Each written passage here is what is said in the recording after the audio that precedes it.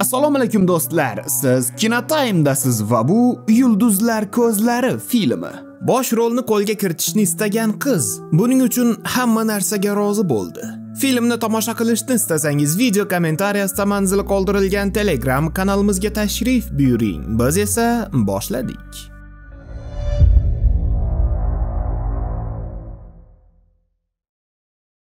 Sara ismli qiz ofitsiantka bo'lib ishlardi. U aktrisa bo'lishni istar va doim kastinglarda qatnashib yurardi. Kunlardan birida qizga qo'ng'iroq qilib, uni eshitib ko'rmoqchi ekanliklarini ma'lum qilishadi. Kasting doimgiday o'tdi.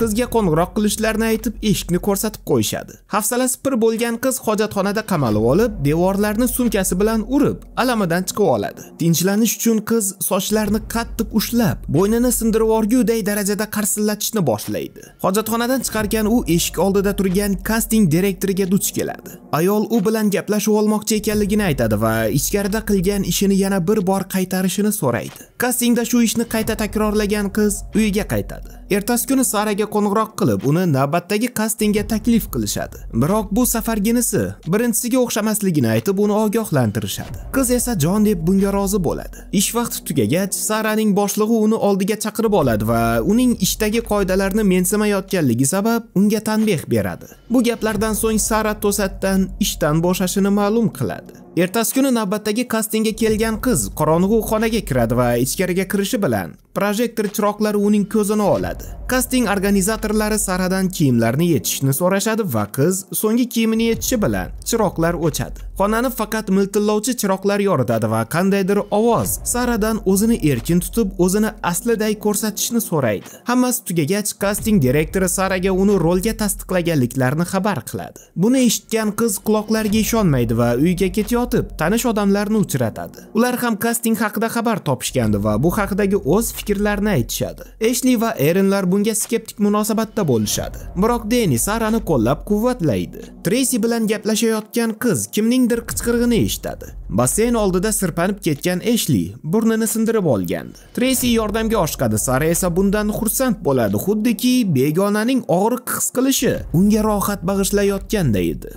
Ertalab qizni prodyuser bilan uchrashuvga taklif qilishadi va qiz bu uchrashuvga alohida tayyorlanadi. Treysi va denilar uning uchun chin dildan xursand bo'lishadi va unga omad tilashadi. Biroq erin uning kiyimlarini tanqid qiladi. Koreya prodyuser rol haqida to'liq tushuntirish beradi va tomoshabinlarga o'tkir hissiyotlar baxsh etishni istayotganligini aytadi. Saraning bu rolga loyiq ekanligini aytgan prodyuser uni filmida ishtirok etishga rasman taklif qiladi. Qiz bundan juda xursand bo'ladi va tinmasdan minnatdorchilik bildiradi. Biroq prodyuser sekin uning oyoqlariga tegingach qiz tildan qoladi. Koreya esa uni yulduzga aylantirishini ta'kidlaydi. Sara tezda o'rnidan turib u yerdan ketishga harakat qiladi, biroq eshiklar qulflangan edi. Prodyuser va kasting direktori qizga hayron bo'lib qarashadi, ammo baribir ham eshikni ochib berishadi. Qiz binodan o'qday uchib chiqadi. Treysi undan suhbat qanday o'tganligini so'raydi. U Saradan aynan nimani istayotganliklarini tushungach, dugonasiga juda to'g'ri ish qilganligini aytadi. Ertasi kuni Karlning oldiga borgan Sara uni qayta ishga olishni so'raydi. Yarim soatcha odob axloqdan ma'ruza o'qigan erkak uni qayta ishga oladi. Sara yana baxtsiz bo'ladi, biroq hisoblarni to'lash kerakligi unda boshqa imkon qoldirmaydi. Navbatdagi ziyofatda Sara yolg'iz qoladi. Uning oldiga kelgan Deni uning kayfiyatini ko'tarishga harakat qiladi va unga bo'sh kelmasligi kerakligini aytadi. Yangi loyiha bilan shug'ullanayotgan yigit qizga unda ishtirok etishni taklif qiladi. Sara bosh rolni u o'ynashi sharti bilan bunga rozi bo'ladi. Kelishuvni nishonlash uchun Deni qizga ekstizi ichishni taklif qiladi va qiz bunga ham rozi bo'ladi. Hayollardan prodyuser ketmagan qiz kinokompaniyaga qo'ng'iroq qiladi va unga yana bir imkon berishlarini so'raydi. Ular yangi joy va vaqtni belgilashadi. Hali ham kayfda bo'lgan qiz oxir-oqibat prodyuserning istagini qondiradi. U esa qizga o'tmishdan voz kechib, yangi hayot boshlash kerakligini ta'kidlaydi. Ertalab uyda uyg'ongan qiz o'rnidan turishga harakat qiladi, biroq qornidagi qattiq og'riq bunga imkon bermaydi. Ishga kelgach oyoqlarida zo'rg'a turadi. Karl unga ruxsat beradi va buyurtmani qizdan olishga harakat qiladi, ammo Sara negadir ha deganda buyurtmani beravermagach, taom uchib ketadi va qiz to'satdan erkakni shapatilab qoladi. Tabiiyki bundan so'ng yana ishdan haydaladi. Kechasi do'stlari bilan o'tirgan sara hamma narsani akvarium ichidan ko'rib eshitib turganday his qiladi. Deni unga yordam bermoqchi bo'ladi. Pol esa qizni videoga suratga olishni boshlaydi. Buni ko'rgan sara esa o'zini bilmagan holda turli xil pozalarga turishni boshlaydi. Tracy polni to'xtatishga harakat qiladi biroq dugonasini turtib yuborgan sara u yerdan ketadi. Qiz buning sababini bilish uchun kinostudiyaga keladi. Qandaydir notanish erkak undan hammasi joyidami? deya so'raydi biroq qiz javob berish o'rniga unga tashlanib qoladi va shahar ko'chalariga chiqib uyiga yo'l oladi. Uyga kelgan qizning boshida prodyuserning so'zlari tinmasdan aylanishni boshlaydi. Qiz o'zini yomon his qiladi. Sochlari esa hovuchlab to'kilishni boshlaydi. Hojatxonadan chiqqan sara och hayvonday ovqatga tashlanadi va qo'llarini ham yuvmasdan yogurtni paqqos tushiradi. Dugonasi u bilan nima sodir bo'layotganligini tushunishga harakat qiladi. Ustidan yoqimsiz hid kelar o'zini tutishi esa har daqiqada o'zgarardi. U hatto treysi bilan shimishishmoqchi bo'ladi. Barcha do'stlari omadsiz darmayetlar ekanligini aytgan sara uni ular orqaga tortayotganliklarini ta'kidlaydi. Dugonasining so'zlari treysini juda xafa qiladi. Xonasiga qaytgan sara kinokompaniya unga jo'natgan konvertni topadi. Uning ichida esa daffiga pul bor edi. Treysining oldiga qaytgan qiz pullarni uning yuziga otadi va xonasiga qaytgach uni qurshab olgan jahlni jilovlashga harakat qiladi. Tunda qizda navbatdagi xuruj boshlanadi. Yuzi va bo'yinlarida qon izlari paydo bo'ladi. Lablari qurigan yuzi so'ligan edi. Sochlari esa to'kilishni boshlagandi zo'rg'a o'rnidan turgan qiz vannaga boradi ahvoli juda yomon edi. U oyoqlarida zo'rg'a turardi. Burni va oyoqlari orasidan qon ketishni boshlaydi.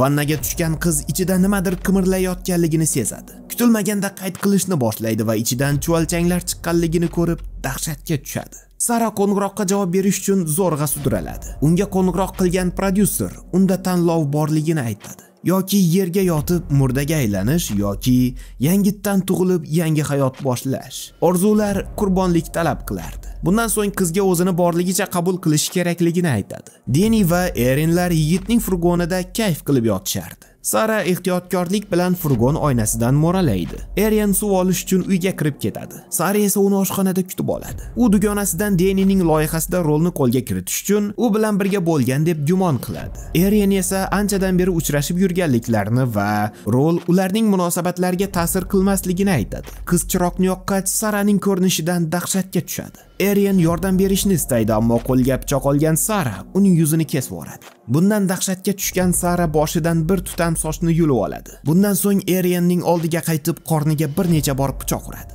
Bu vaqtda Pol uyqusirab yotog'idan chiqadi va Sara bilan salomlashib hojatxonaga kiradi. Eshlining xonasiga kirgan Sara Poldagi gantelni olib, uxlayotgan dugonasining abjag'ini chiqaradi. Buni ko'rgan Pol qochishga urinadi, ammo qonga sirpanib yiqiladi. Sara esa vaqtdan foydalanib uni ham asfala sofiniga jo'natadi. Hali ham tirik bo'lgan Erien telefonga yetib olishga harakat qiladi. Biroq uning boshiga paket kiygizgan Sara uning bo'g'ilib o'lishini kutadi. Bundan so'ng Denining oldiga boradi va furgon oldidagi o'rindiqqa o'tiradi. Hech nimadan xabar yo'q yigit uni gapga soladi. Yigit ular undan xavotir olayotganliklar olayotganliklarini, u bilan qandaydir g'alati ishlar bo'layotganligini aytadi. Qizning oldiga kelgan yigit uning badbashara yuzini ko'radi. Sara indamasdan unga ham pichoq tiqadi. qorong'ulikdan niqob kiygan uchta sharpa chiqib keladi hashamdor kiyingan ayol va erkaklar qo'llarida fonar ushlab yurishar va ularni kinokompaniya belgisi shaklida yerga qo'yishadi bundan so'ng kinokompaniyaga sharaf aytishadi yerda yotgan plyonka bilan o'ralgan yalang'och qiz uni yirtib tashqariga chiqishga urinadi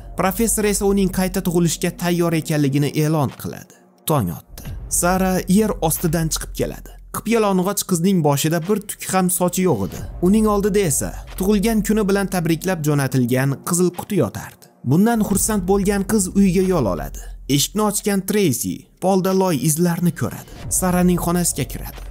Hamma yoqda shag'am yonig'idi. Qiz esa boshigacha to'shakka cho'milib olgan edi. Matoni ochgan qiz yalang'och dugonasini ko'radi. Uning ko'zlari yashil rangga kirgandi. Ular xuddiki nur taratayotganday edi. Sara Treysidan uning yoniga yotishni so'raydi va undan bo'sa olishni istayotganligini aytadi. Qiz uning iltimosini bajargach, unga qon quyishni boshlaydi va Treysi vafot etadi. Bundan so'ng unga sovg'a qilingan qutidagi ko'ylak va parikni kiyadi. Uning ichida yana kinokompaniyaga tegishli taqinchoq ham bor edi. Qiz o'z aksiga hayrat bilan nazar soladi.